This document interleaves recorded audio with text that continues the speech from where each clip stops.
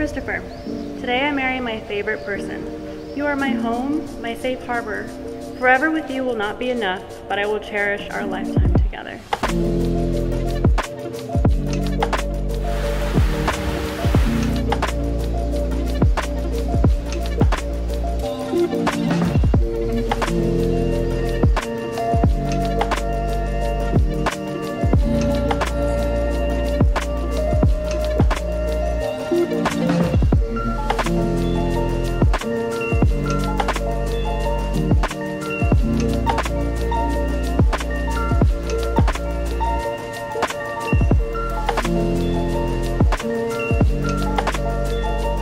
I promise to be faithful to you in action and in spirit, and I promise to support and cherish you in all that we do.